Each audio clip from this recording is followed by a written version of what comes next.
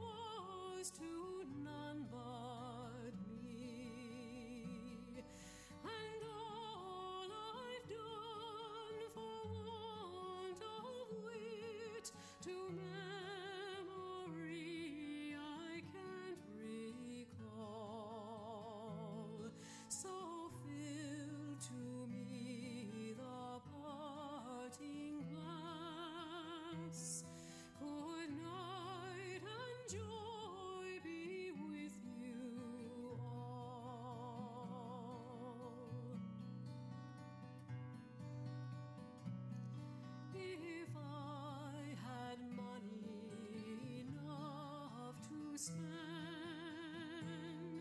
and leisure time to sit awhile.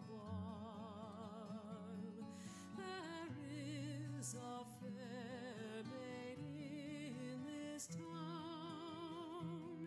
who sorely has my heart beguiled.